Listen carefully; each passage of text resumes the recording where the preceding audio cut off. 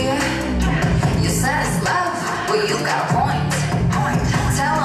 the only one who blew you yeah.